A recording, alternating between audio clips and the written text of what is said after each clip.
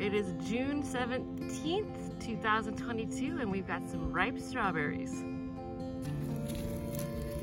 Yeah, these ones on the end are more ripe than the rest of the row. We're picking here.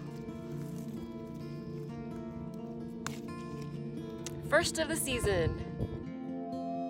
Ah, strawberries. Beloved by many, and the first fresh fruit to ripen in the year.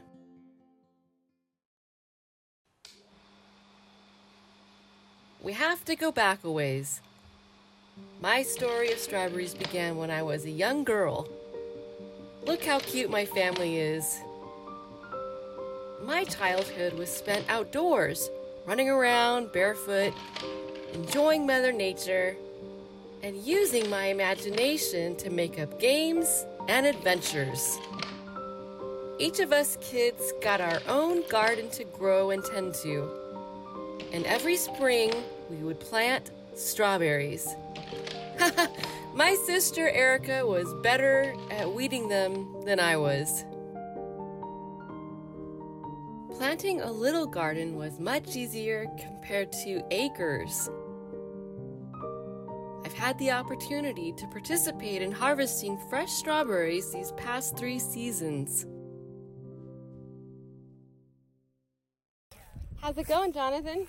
Good. What did you find? Can you show me what you found here? Right here. And the strawberries not ready. Not ready yet, but these are ready. Do you want to eat one? Yeah. You do. Hmm. Tell me how yummy it is. Make sure there's no bugs on it. This one does on it. But God made dirt and dirt don't hurt. Yeah. yum yum. Is it yummy? Uh-huh. Mmm. What a versatile fruit. We love our strawberries in cakes, pies, pastries, on pancakes, in ice cream sundaes. Strawberries are used in all kinds of decadent desserts. It is a prolific flavor around the world. There's even strawberry wine. And it's a delicious addition to charcuterie plates as well. Strawberries are a romance food and are considered an aphrodisiac. There's many nutritional benefits to strawberries. They're rich in fiber, high in vitamin C, potassium, and full of antioxidants. Eat more fresh strawberries.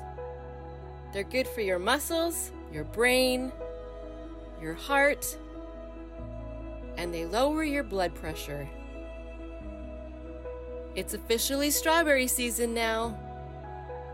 I hope you enjoy the bounty of your own garden or from a farm to your table.